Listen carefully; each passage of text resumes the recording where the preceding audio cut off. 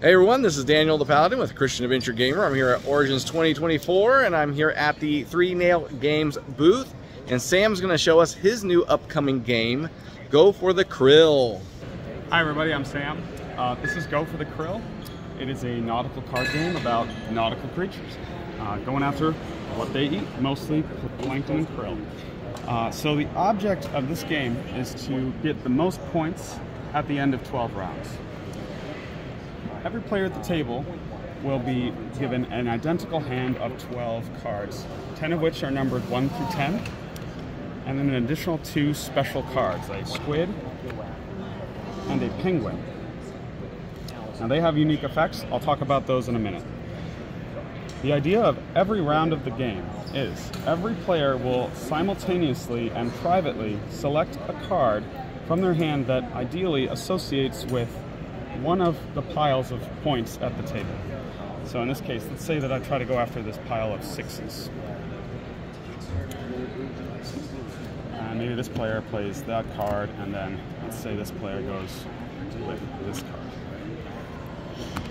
Once every player has chosen a card, they'll all simply flip over their cards and reveal their selection.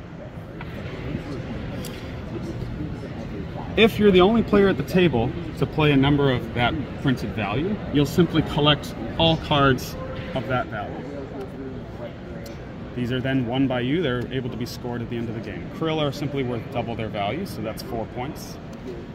Now, if multiple players at the table play the same value, they'll cancel each other out, and that card, those cards are simply discarded.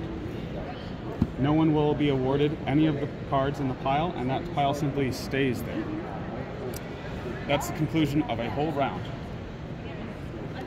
As we set up for the next round, we simply will leave all of the cards existing on the spread currently, and we'll deal an amount of cards from the food deck equal to twice the number of players at the table. So if we're playing with three players, we draw an additional six cards. Reveal these one by one and add them to their respective piles. So we've got a couple sevens, five, another two, and. And we proceed.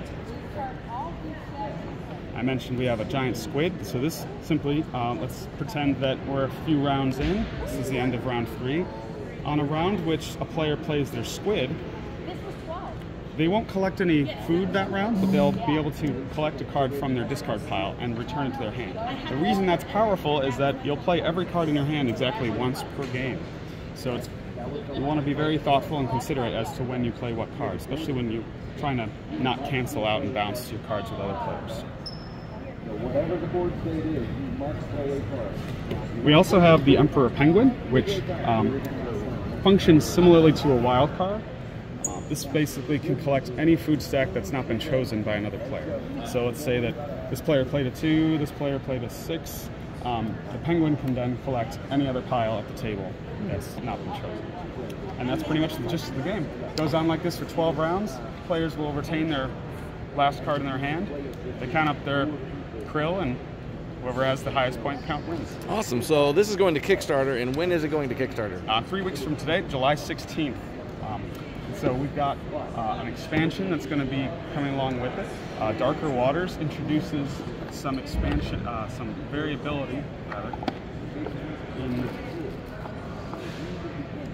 I mentioned those special cards just a second ago. We'll also include the albatross, uh, the whale shark, leopard seal, krill net, and great white shark. These can be interchanged with the penguin and the squid, uh, not the squid, but the penguin, um, and provide different interactivity and different ways to set up the, the board, uh, the game state every Awesome. game.